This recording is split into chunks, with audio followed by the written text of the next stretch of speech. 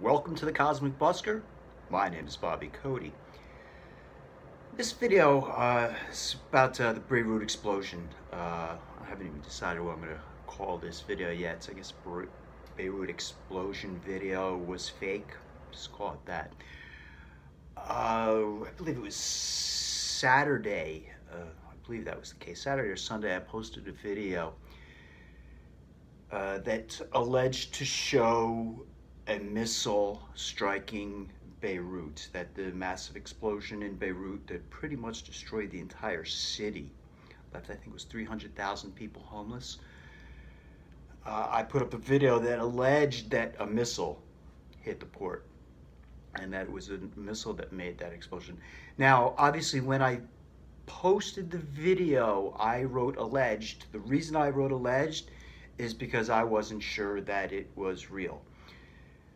Uh, I did do some due diligence, and we're going to talk about that. And what I want to do is I want to go through the process that I went through in order to de determine that it might be real, the limitations on me and my ability to determine whether it was real or not, and the fact that that's why I posted to begin with to get further feedback and I also want to talk about the, the critical thinking process that led me to believe that it was fake. Uh, it's important if you make a mistake to own up to your mistake and uh, show why. Uh, I think it's a critical thinking aspect, and I think it's important that people see critical thinking in operation and understand the steps of how you go through that process and how I made this determination. Um, just a quick thing I want to talk about real quick that, you know, when, when you first come across something, uh, I used to study journalism uh, in college and in high school. One of the first things you want to do, all right, uh, when you come across this issue or problem, you want to define the problem or address it. And one of the ways you do that is, uh, I found to do that, one of the best ways to do that is use a journalistic approach and the way uh, journalists are told to approach a subject matter in a story. And one of the first ones is it's either five or six questions you want to ask. Very simple one word questions who, what, where, when, why, how. Six. Who, what, why, when, where, how. Ask those questions, answer those questions so that you will know how to tackle the problem.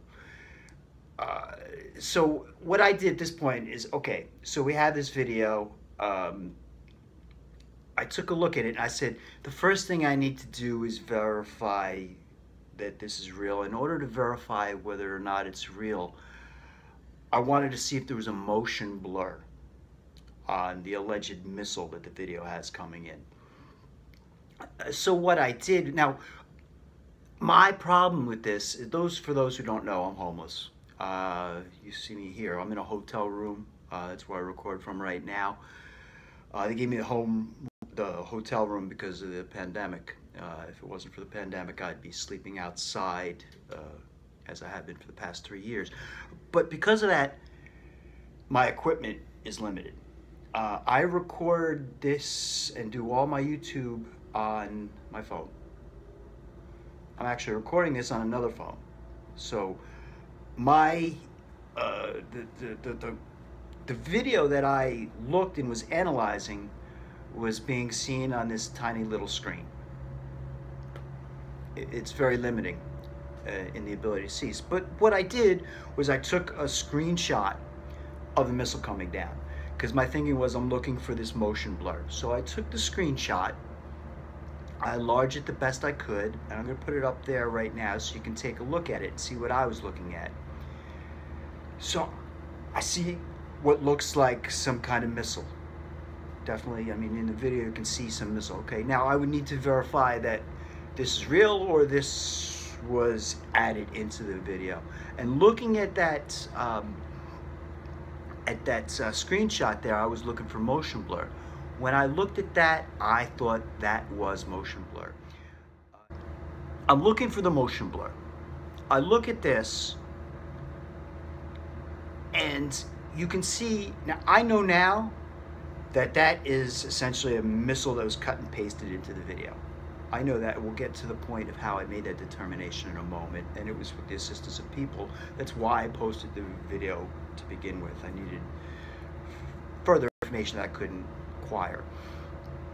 So I, you know, when I saw this image, I thought that was motion blur. You see, you can see if you take a real good close look at it, the missile it looks like there's there's breaks in the missile. It really looks like it was a motion blur to me. Uh, it turned out when uh, I posted the video, somebody replied and said it's 100% fake. I'll put up the comments from the other video here so you can take a look and read. Matter of fact, I'm going to read from it right now.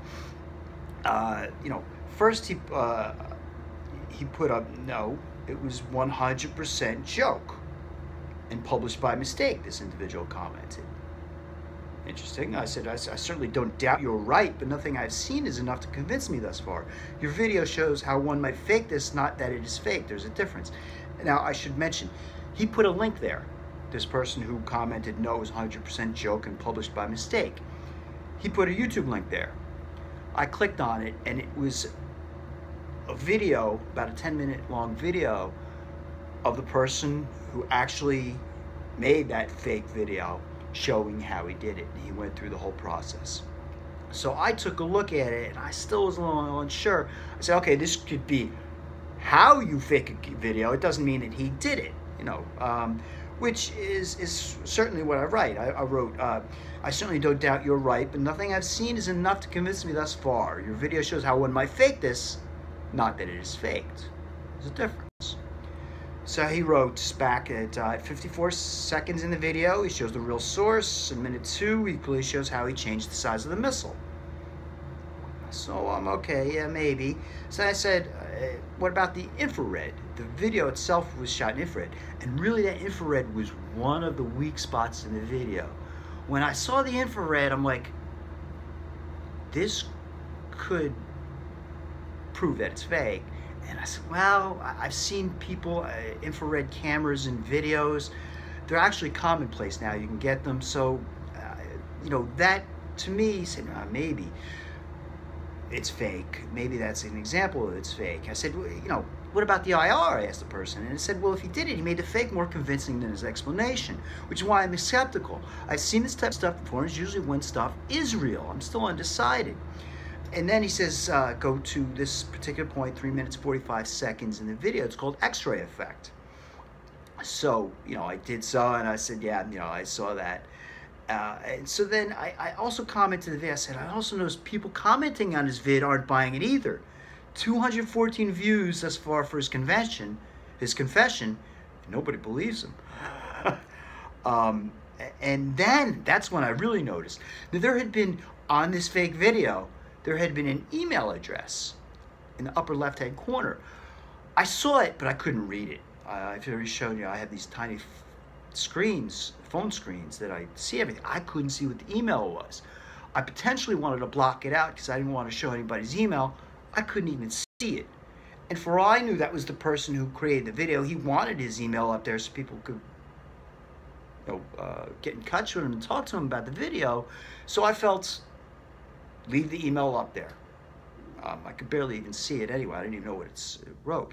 Uh, so then I finally, I noticed, hey, this person who's commenting, I said, you have the same name as the email in the video. You're saying you're the faker? Uh, what's going on? You know, why change your YouTube name? So at this point, he wrote back, no, the faker used my email by mistake since it was for sale years ago.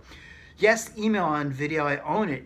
I can even reply to you from it. The faker sent me so much emails, he's sorry how it's come out this so far, so now I'm trying to clear my name and email. So the person's email on there actually commented and said, no, that was me, my email. The faker used my email address. I didn't create it. He just used my email address. Uh, and then the person who wrote the video hit 6 million views in less than five hours. That was shared on over 1 billion 600 million users in less than eight hours. We called Google to ban it. We also spend so much time to report all the high quality versions. I responded to he wants to ban it. I, I Look, on the YouTube channel that explains how he did it, nobody believes him.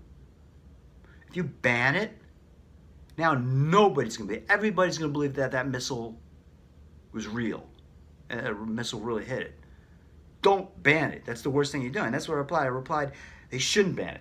Let it exist so others can determine it's fake. Ban it, nobody will believe so, but those who believe what they are told, no questions asked. And I told him, sorry you're going through this. So, you know, at that point, there was no question it was a fake video. Um, as I stated in, in, in uh, the Beirut video, the initial video, the fake one, I don't have the capacity to uh, make the determination, and it wasn't based on my mental or, or, cognitive abilities to make the determination. With the right screen size and uh, equipment, I would have been able to make the determination that it was fake, and I wouldn't even posted it. I, I may have made a post saying, "Hey, this is fake, guys, watch out," but that's about it. Unfortunately, I don't have the equipment, so that's where this comes in real quick. I'm going to ask you guys if anybody wants to help me out. Uh, I do have PayPal, uh, the Cosmic, the Cosmic Busker at gmail.com. Uh, it's on PayPal, so you can you can uh, help me out if you'd like to. I'd much appreciate it. But more importantly, I'd like you to like, share, subscribe, comment, all that good stuff. Thanks for watching. Uh, my apologies for, for initially assuming that that was real, I did have questions. Um, but it's most important to arrive at the truth, no matter how you go about that way, as long as it's the proper way. So thanks, everybody. Uh, like, share, subscribe, comment, all that good stuff. And I'm going to be posting another video in a short while. Thanks.